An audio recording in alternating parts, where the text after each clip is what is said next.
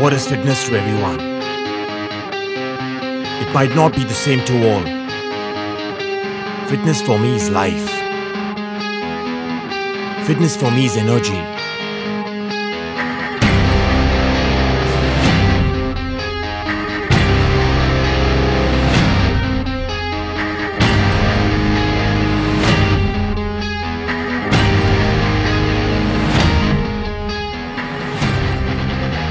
Everyone spend a lot of time make money. I spend a lot of time and money to be fit. It's not the win that is important for me. It's the fight which pushes me to win is important. That's my energy. That's my passion.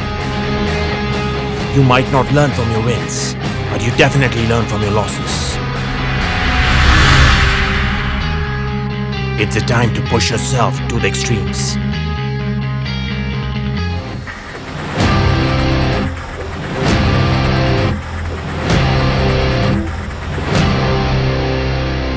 It's a time to show what you're made of.